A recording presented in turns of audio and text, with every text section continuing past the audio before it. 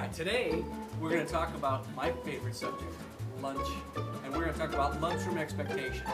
Because the lunchroom can kind of get crazy. And if you look at, you know what, let me just show you what lunch looked like when I was a kid.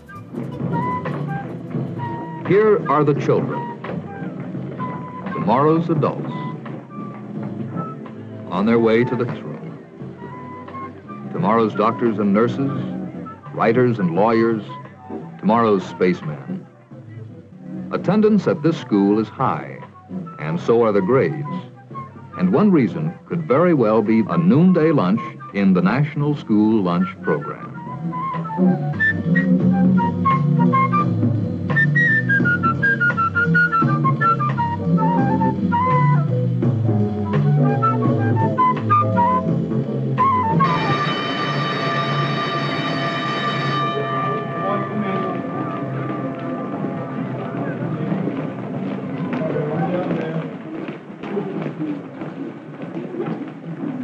It happens every noon.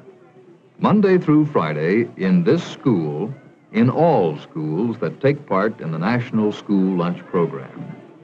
It happens every noon for the pupil who takes advantage of the lunch program.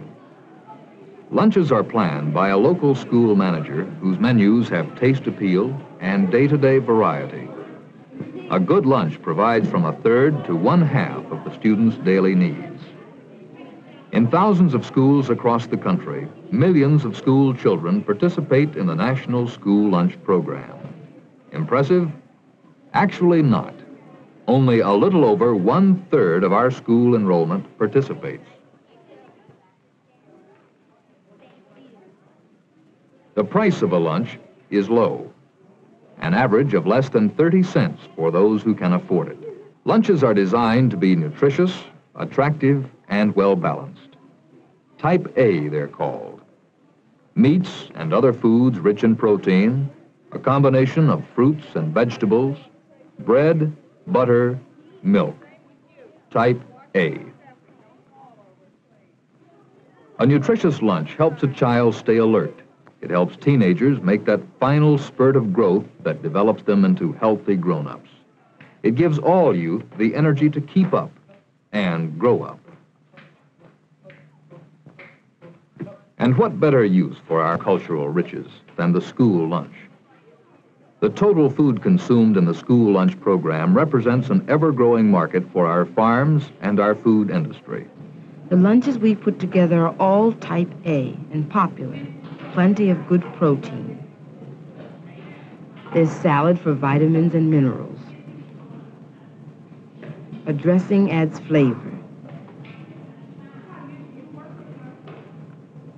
And carbohydrates, like oven fresh cake, they're always easy to take.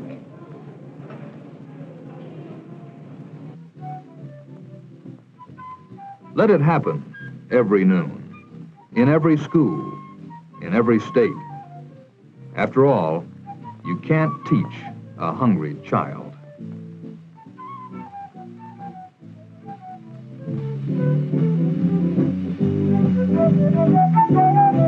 So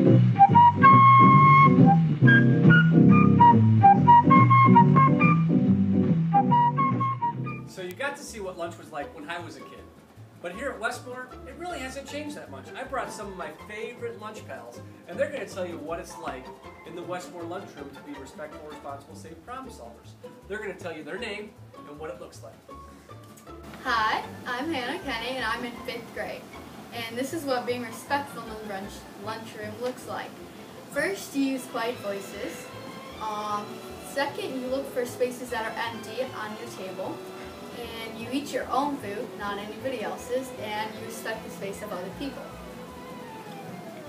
Hi, I'm Junya. I'm in fifth grade. Being responsible in the lunchroom means like um, remembering your lunch card or waiting your turn. Like returning your tray, tap and and then waiting to be dismissed. Hello, I am Colton, and I'm in fifth grade, like these two. And um, being safe in the lunchroom means keeping hands and feet to self, following directions the first time, or even zero times if you're that lucky, And eat your own food. Beware of others' food allergies. Remember, not everyone is not allergic to your food. Hi, my name is Jennifer, and I'm in second grade in Miss Chambers' class. Um, and I'm going to tell you about being a problem solver in the lunchroom. Um, if you get angry, a good way to be a problem solver is to count to 10. It helps me. Um, So you got to see what all four of our expectations are in the lunchroom. Now our expectation is that you're going to follow all four of these every time you go to lunch. Have a great day.